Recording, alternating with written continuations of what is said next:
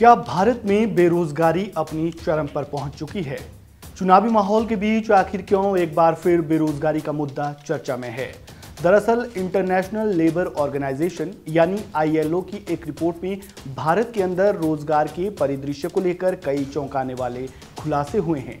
इसमें सबसे बड़ी बात जो सामने आई है, वो ये है कि भारत में कुल बेरोजगारों में से तिरासी प्रतिशत युवा है। इस बीच कांग्रेस नेता राहुल गांधी ने अपने सोशल मीडिया हैंडल एक्स पर पोस्ट शेयर करते हुए बेरोजगारी को लेकर केंद्र सरकार को घेरा है। नमस्कार, मैं हूँ राजेश शर्मा और आप देखना शुरू कर चुके हैं वन इंडिया हिंदी।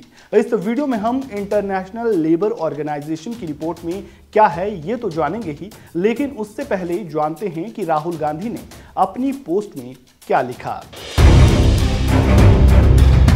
देश में बढ़ती बेरोजगारी दर के बीच राहुल गांधी का एक पोस्ट काफ़ी वायरल हो रहा है। इस पोस्ट में राहुल गांधी ने देश के सर्वोच्च शिक्षण संस्थानों में से एक आईआईटी के स्टूडेंट्स को प्लेसमेंट ना मिलने का मुद्दा उठाया है। साथ ही राहुल गांधी ने हिंदुस्तान टाइम्स का आर्टिकल भी अपनी पोस्ट में शेयर किया है। वे अपनी पोस्ट में लिखते हैं बेरोजगारी की बीमारी की चपेट में अब आईआईटी जैसे शीर्ष संस्थान भी आ गए हैं। आईआईटी मुंबई में पिछले वर्ष 32 प्रतिशत और इस वर्ष 36 प्रतिशत स्टूडेंट्स का प्लेसमेंट नहीं हो सका है। देश के सबसे प्रतिष्ठित तकनीकी संस्थान का जब ये हाल है तो कल्पना कीजिए बीजेपी ने पूरे देश की स्थिति क्या बना रखी है। कांग्रेस द्वारा युवाओं के लिए रोज़गार का ठोस प्लान देश के समक्ष रखे लगभग एक महीना बीत चुका है, पर भाजपा सरकार ने इस मुद्दे पर अब तक सांस भी नहीं ली है। नरेंद्र मोदी के पास ना रोज़गार देने की कोई नीति है और ना ही नियत। ये सिर्फ़ भावनात्मक मुद्दों के जाल में फंसाकर देश के युवाओं को धोखा दे रहे हैं। युवा इस सरकार को उखाड़कर अपने भविष्य की नींव खुद रखेगा। कांग्रेस का युवा न्याय देश में एक नई रोज़गार क्रांति को जन्म देगा। वहीं बात अगर आईएलओ की रिपोर्ट की करें तो आईएलओ ने इंस्टीट्यूट ऑफ़ ह्यूमन डेवलपमेंट के साथ मिलकर इंडिया एम्प्लॉयमेंट रिपोर्ट 2024 पब्लिश की है। इसके हिसाब से अगर भारत में 100 लोग बेरोजगार है तो उसमें से तेरासी लोग युवा है। इसमें भी अधिकतर युवा शिक्षित है। आईएलओ की रिपोर्ट में ये भी सामने आया है कि देश के कुल बेरोजगार युवाओं में पढ़े लिखे बेरोजगार की संख्या ज़्यादा है। जो सन 2000 के मुकाबले अब डबल हो चुकी है। साल 2000 में पढ़े लिखे युवा बेरोजगारों की संख्या कुल युवा बेरोजगारों में 35.2 प्रतिशत थी।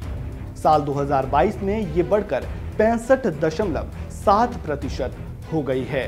इसमें उन्हीं पढ़े लिखे युवाओं को शामिल किया गया है जिनकी कम से कम दसवीं तक की शिक्षा पूरी हो चुकी है। रिपोर्ट में वेजेस को लेकर भी एक बात कही गई है। साल 2019 के बाद से रेगुलर वर्कर्स और सेल्फ एम्प्लॉयड लोग दोनों की इनकम में गिरावट का ट्रेंड देखा जा रहा है। वहीं अनस्किल्ड लेबर फोर्स में भी कैजुअल वर्कर्स को 2022 में सही से न्यूनतम मजदूरी नहीं मिली है। कुछ राज्यों में रोज़गार की स्थिति काफ़ी दयनीय है। ये राज्य बिहार, उत्तर प्रदेश, उड़ीसा, मध्य प्रदेश, झारखंड और छत्तीसगढ़ है। आईएलओ की रिपोर्ट आने के बाद से आरबीआई के पूर्व गवर्नर रघुराम राजन की एक बात सच साबित होती हुई नज़र आ रही है। रिपोर्ट आने से एक दिन पहले ही देश के पूर्व आरबीआई गवर्नर और मशहूर इकोनॉमिस्ट रघुराम राजन ने कहा था कि भारत को अपनी इकोनॉमिक ग्रोथ के मज़बूत होने की हाइप पर भरोसा नहीं करना चाहिए। ऐसा करना उसकी बड़ी भूल होगी। बजाय इसके, भारत को अपनी इकोनॉमी में मौजूद बुनियादी समस्याओं को दूर करना चाहिए, जैसा कि अपने एजुकेशन सिस्टम को ठीक करने पर ध्यान देना चाहिए। तो ये था आईएलओ की रिपोर्ट का पूरा लेखा जोखा इस वीडियो में फ़िलहाल इतना ही। खबरों से जुड़े ताज़ा अपडेट के लिए वन इंडिया हिंदी को सब्सक्राइब करना बिल्कुल ना भूलें। धन्यवाद।